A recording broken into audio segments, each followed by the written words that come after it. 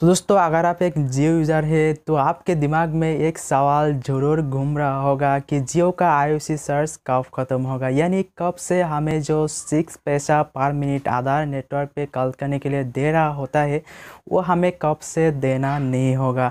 तो फाइनल जो है ट्राई की तरफ़ से ये डेट निकाल कर आई है कि इतना दिए तारीख के बाद इतना, तारीख के बाद आपको नहीं देना होगा सिक्स पैसा पर मिनट आधार नेटवर्क पर कॉल करने के लिए।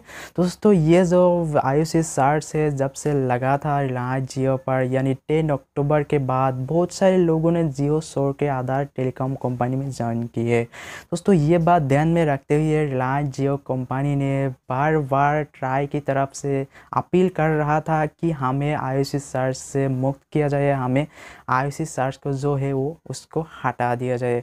दोस्तों, यहाँ पर जियो को इतना ही लॉस हुआ था, बहुत लॉस हुआ था, और उतना ही जितना लॉस जियो को हुआ था और उतना ही लॉस उतना ही फ़ायदा हुआ था आधार टेलीकॉम को। दोस्तों, बहुत सारे लोग ऐसा कर रहा था कि जियो छोड़ के आधार टेलीकॉम पर ज्वाइन कर रहा था। दोस्तों फाइनली जो है, ये जो आई सी सर्च है यहाँ से हम जैसा जियो यूज़र को छुटकारा मिलने वाला है। दोस्तों, अगर आप भी एक जियो यूज़र है तो आपको भी ये वीडियो देखने के बाद आप खुश ज़रूर होंगे। कि दोस्तों, दो हज़ार बीस की एक जनवरी के बाद आपसे नहीं ले जाएगा आई सी यूज़र्स यानी एक जनवरी 2020 के बाद आपको फ्री मिलेगा जियो का कॉल चाहे आप आधार नेटवर्क पे कॉल करें या जियो पर कॉल करें।